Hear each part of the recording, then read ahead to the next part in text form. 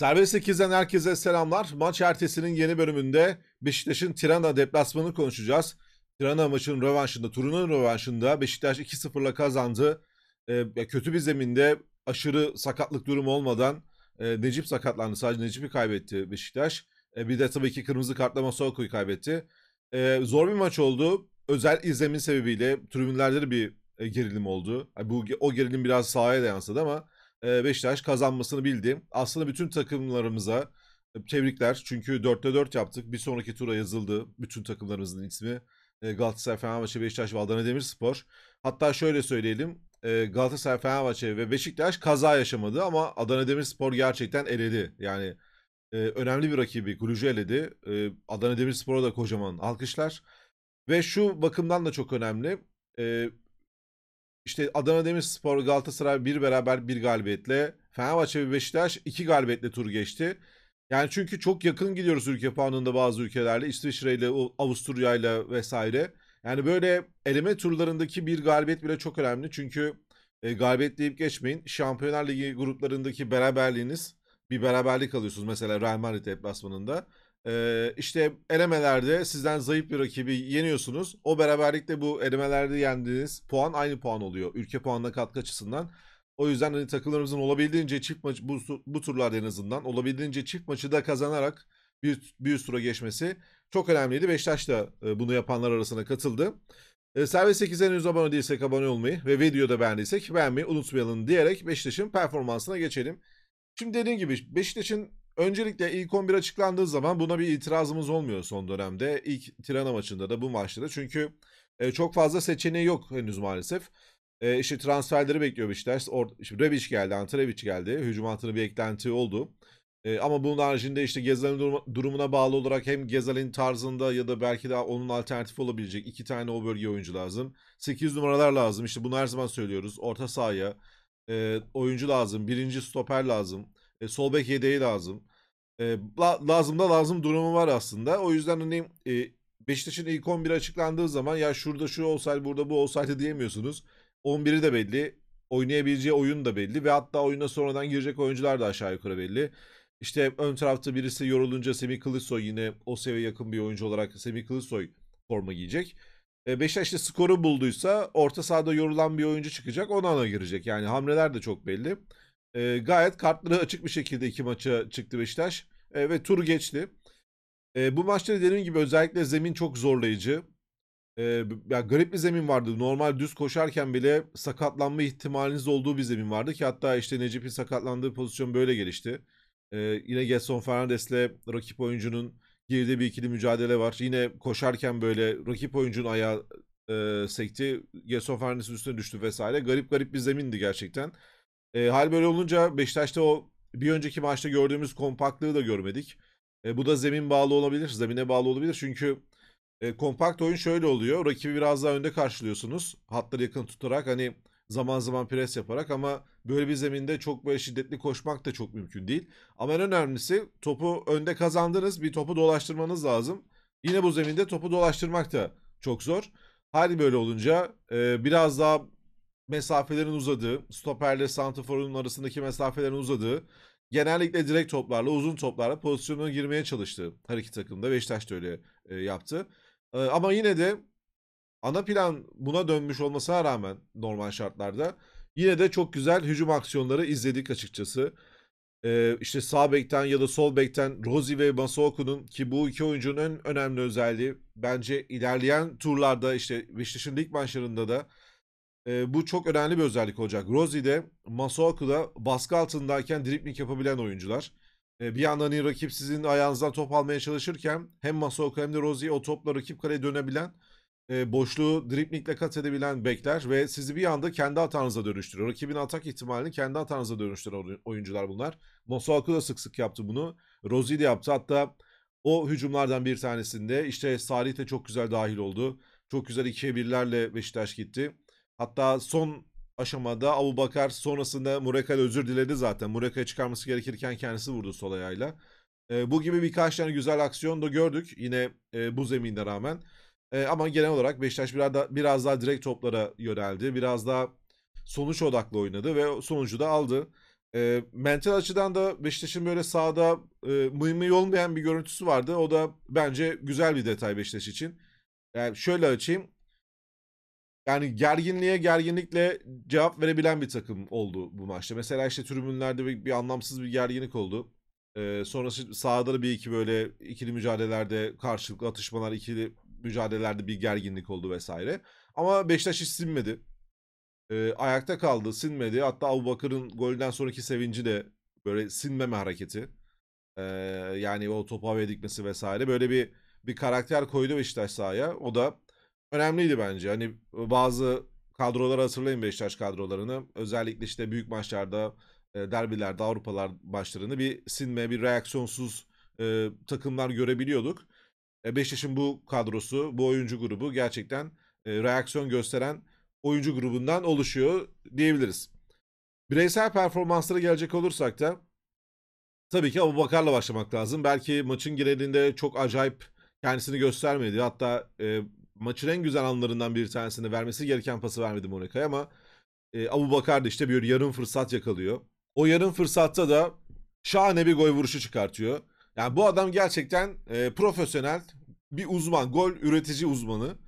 E, yani golcülük başka, gol üretmek başka. Şöyle bunu tanımlayabiliriz. Yani golcü Mesela Ayton vardı ya Beşiktaş'ta. Adam tam bir golcüydü ama top önüne düştüğü anda bir iki işte birebir yakaladığı anda kaleciyi o topu içeri atıyordu. Müthiş bir bitiriciydi. Ama Abu Bakar gol üreticisi abi yani. Ortada tam olarak bir şey yokken de ya, ya da yarım bir fırsat varken de bir şekilde ekmeğini taştan çıkartıyor. E, attığı gol de öyle bir pozisyondu. Tamam top güzel düştü sayağına ama yumuşak düştü. Böyle inanılmaz böyle gol açısı da yoktu ama çok çok çok net bir vuruşla yine ağları buldu. Yani hazırlık maçında da bu adam böyle. Lig maçında da böyle. Avrupa maçında da böyle. En ufak fırsatta bir bir gol üretimi söz konusu. Hakikaten Abubakar'a sahip olmak 5 yaşın bu sezon bu, bu sezonki lig bir tanesi olacak. Zaten ilk kez Abubakar genellikle bir sezon azabal çalıp gidiyordu. E, ilk kez devamı gelecek yani bu sezonla birlikte ve Beşiktaş'ın o bahsettiğim e, bek konusundaki o hat kıran bekler konusunda e, işte bu gibi artı puanları bir de Abubakar ekleyebiliriz bu sezon. Abubakar gerçekten e, yani başlı başına tabela bozucu, ortada bir şey yokken tabela bozan bir santafor ve çok büyük bir lüks açıkçası. Ee, yine performansın altını çizmem gereken oyunculardan bir tanesi bir önceki maçta çizmiştim aslında. Ee, Amir. Amir Hacı Ahmetoviç. Yani bu oyuncu hatta şöyle söyleyeyim Konya Spor'dan değil de bu hani belki çok klişe olacak ama hakikaten bu durum böyle yani. yani Konya Spor'dan değil de Villarreal'in atıyorum işte alternatif altı numarasıymış. Bazen oynuyormuş. Ee, Beşiktaş'ta onu transfer etmiş geçen sene devre arasında. Çok daha fazla metiyeler düzülürken satır başlarında işte Beşiktaş'tan bahsedilirken daha satır başlarında bahsedilirdi. Ee, hani biraz daha kendi halinde bir oyuncu gibi takılıyor şu anda. İşte işini yapan vesaire ama çok önemli bir oyuncu Hacı Ahmetoviç. İşin savunma tarafında olabildiğince var. Pozisyon alma zekasıyla gayet topla kazanan bir altı numara aslında. Tabii ki çok kuvvetli, çok böyle fizikli değil. Ee, işte yeni gelen takım arkadaşı Onana gibi değil tabii ki. Ama yine de kendi fiziğine göre oyun zekasıyla pas araları yaparak doğru yerlerde pozisyon olarak çok çok güzel toplar kazanan bir oyuncu ama asıl meselesi top kazandıktan sonra ya da stoperlerinden top aldıktan sonra yaptıkları. Baskı yediği zaman yılmıyor mutlaka topla dönebiliyor. Ee, işte bir mesela garanti pas atacak diyelim koşu gösteren bekini gördü. O bekin koşusunu tamamlamasını bekliyor. O, o koşuyu tamamlayana kadar biraz topu sürüyor ya da biraz topu dürtüyor. O zamanı kazandırıyor. Çok zeki bir oyuncu. Hakikaten Beşiktaş'ın oyununa mental olarak çok büyük akıl katan bir oyuncu. Amir Hacı Ahmetoviç. Hani lig maçlarında da o Beşiktaş'ın periyodunda da bunu görmüştük zaten. Kazanan, kazandığı periyotta. Şimdi ligin başında da işte Avrupa elemelerinde de Hacı Ahmetoviç'in önemini bence görüyoruz. Ee, hem o takımın bütünlüğünü sağlayan oyunculardan bir tanesi. Çünkü gerçekten o 6 numarada e, işin böyle orta saha bağlantısını yapan oyuncular çok önemli oluyor. Yoksa hiçbir şeyin anlamı kalmıyor. Nasıl işte Abu Bakar o topu kaleye soktuktan sonra oynadığınız iyi oyunun işte varsa bir iyi oyununuz o, o zaman anlamı oluyor. Tabelayı bozduğunuz anda anlamı oluyor. Aynı şekilde e, işte bütün takımın enerjisi, kompakt oyunu vesaire, pres oyunu her şey biraz o orta sahadaki bağlantıyla kaynaklı. Orada bir oyun kuramazsanız top Abu Bakar'a kadar da gitmeyecek zaten. O yüzden oradaki bağlantıyı o 6-8 bağlantısını kuracak oyuncunun gerçekten kaliteli olması gerekiyor ve bu isim de Beşiktaş'ta amir oluyor transfer olduğundan bu yana bu işi çok iyi yapıyor gerçekten. Ee, Onana da belli ki Şenol Hoca'nın işte skoru bulduktan sonra biraz daha işte e, orta sahaya enerji katalım, uzun topları, rakip uzun oynarsa biraz daha savunma arasına girerek stoperlik yapsın. Ki geldiği takımda üçlü stoper hattının orta stoperi olarak da oynuyordu. Ee, biraz farklı oyunu oynamak gerektiğinde sahaya atılabilecek oyuncu olarak kullanacak Onana'yı ama ana planda Amir Hacı Ahmetoviç var. Orası kesin. Onun haricinde Masaoku'nun kartı e, hakikaten yazık oldu biraz. Çünkü çok önemli oyunculardan bir tanesi. Hem zaten birebir alternatif yok. Yakınında bir oyuncusu yok e, alternatifleri arasında Beşiktaş'ın. Bir de oyun için çok önemli bir adam. Yani bu maçlar onu gösterdi. O bahsettiğim gibi bas, baskı kıran hamleleri, driplingleri, iyi bir oyun zekası var. E, bir sonraki turda ihtiyaç olacaktı Beşiktaş'ın. Ama belli ki bence orada Umut Meraş yerine e, maçta kırmızı karttan sonra gördüğümüz anlarda olduğu gibi Onur Bulut'u bence sol e, bekte kullanacak. Ki Antalya artık yazılacaktır bir, bir sonraki tura. Ya da belki de transfer gelecektir ki bir transfer olması daha önemli tabii ki. İşte Gazal'in bölgesinde e, işte en son Nikola Pepe ismi geçmişti. O da itibari kuvvetlenirse e, video yapacağım Serbest 8'de. E, yani riske risk almaya değer bir yatırım olabilir e, Nikola Pepe. Çünkü özel bir oyuncu. E, dar alan becerisi olabilecek bir sağ kenar oyuncusu da belki eklerse diğer tura kadar Beşiktaş işte bir 8 numaraları da eklerse alternatif olabilecek. E, daha derinlikli bir kadro olur ki buna da ihtiyacı var açıkçası. E, ama şu anda Onur Bulut sanki Mosoku'nun alternatifi olacak. Çünkü orada hakikaten Beşiktaş'ın oyununda beklerden de topla çıkabilmek çok önemli. E, Onur Bulut bunu yapabilecek bir isim. E, tersinde. O yüzden ben yani Mosoku'nun cezalı olduğu durumda Onur Bulut'u bekliyorum. Amarte iyi gözüktü. Attığı gol haricinde savunmaları iyi gözüktü açıkçası. E, onun da ilk maçı bence e, geçer not aldı diyebiliriz. Gerson Fernandes zaten oyun tam onluk oldu bir noktadan sonra. E, çünkü hatlar açıldı. Birileri topu alsın, dripling yapsın diye beklenildi. E, Gerson Fernandes de onu zaman zaman yaptı ama gerçekten sakatlık riski en yüksek olan oyunculardan bir tanesiydi. Bu zeminde dripling yapmak zorunda kaldığı için. E, neyse ki bir problem yaşamadı. Necip'e geçmiş olsun. Yani Necip, Necip'i umarız ciddi bir sakatlık değildir. Necip sakatlandı Beşiktaş'ta. E, rakipte de hani gerçi o ikili mücadele çok zaman e, zeminle alakası değil ama rakip kaleciyle de geçmiş olsun. O da yani ağır bir sakatlık yaşadı maalesef. E, Salih'in de performansı gayet iyi ama buradan da biraz e, bundan sonra ne olmalı yine biraz bakmak lazım. Çünkü Beşiktaş'ta gerçekten çok tıkanıyorsun bir noktada. E, alternatif konusunda özellikle oyun alternatifi konusunda hem kadro alternatifi yok hem de oyun alternatifi yok. Mesela şu anda Beşiktaş'ın ön tarafında driblingçi bir, driblingçi bir oyuncusu yok. Yani dar alan becerisi olan driblingçi bir oyuncusu yok. E, Antalya 5 eklendikten sonra da bu durum aynı şekilde devam edecek. E, hal böyle olunca mecburen çok fazla set oyununa mahkum bir takım oluyor ya da ön tarafta sürekli top kazanmaya mahkum bir takım oluyorsunuz. Biraz başka oyunları da oynayabileceğiniz. Mesela Nikola Pepe bunu sağlayabilir. E, işte top ayağına aldığında birebirlerde de fark yaratacak bir kenar oyuncusuna ihtiyacı var Beşiktaş'ın bu, mutlaka böyle bir oyuncu gitmesi gerekiyor ki biraz oyun derinliği olsun. E, 8 numaralar çok önemli Beşiktaş'ta. İşte Gelson Fernandes'i gerçekten serbest 8 gibi kullanıyor Şenol Hoca. Sık sık ceza sahasına koşu atarken görüyoruz. Salih'i biraz daha Amir'in yanın, yakınlarında oyun kurulurken görüyoruz ama Gelson Fernandes'i sürekli o boşluklara hareketlenirken, o topsuz koşular yaparken görüyoruz ve bu konuda gerçekten kendisini geliştiriyor ve kendisini de adamış belli ki. Her geçen gün daha iyi oluyor bu konuda.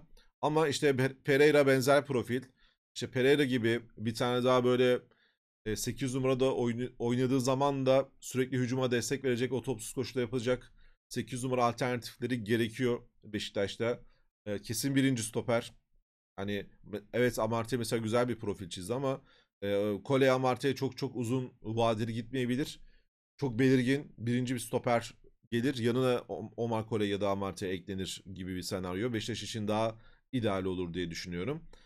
Ee, yani biraz kadro derinliğine ihtiyaç var. Hatta bazı bölgelerde birinci işte Gezel'in Gezel dönemiyorsa o bölgeye direkt birinci e, kalitede oyuncu, birinci kalitede bir oyuncu lazım oraya. Hatta belki hem o lazım hem alternatifi lazım. Stoper'e birinci kalitede bir oyuncu lazım. Diğer bölgelere artık biraz daha derinleştirme hamleleri, 8 numara, numara bölgesini biraz daha derinleştirme hamleleri. Mutlaka dripliçi bir kenar oyuncusu. İşte belki Pepe gibi birinci kalitedeki oyuncu olur. 11'e yazacağınız oyuncu olur. Ya da işte e, yine ile devam edersiniz ya da Gezal tarzı bir oyuncuya gidersiniz orada. Ama en azından alternatifte böyle kulübeye baktığınızda e, birisi alsın topla gitsin denilecek anda e, böyle bir seçeneğiniz olması gerekiyor. Evet yani belki bu çok tekrara giriyoruz ama tekrara girmemizin sebebi Beşiktaş'ın bu konularda henüz bir aşama kaydetmemesi. Hal böyle olunca maç videolarında da geleceğe dair bundan sonrası ne olur sorusunu kendimize sorduğumuzda yine bunları söylemek durumunda kalıyoruz. Sizin yorumlarınızı da merak ediyorum. Beşiktaş'ın Tirana e, iki maçtaki performansı, oyuncuların bireysel performansı, e, ne tip oyunculara ihtiyacı var gibi sorulara e, cevaplarınızı bekliyorum yorumlara. E, dediğim gibi bütün yorumlarınızı okuyorum. O zaman bir sonraki içerikte görüşmek üzere diyelim. Hoşçakalın.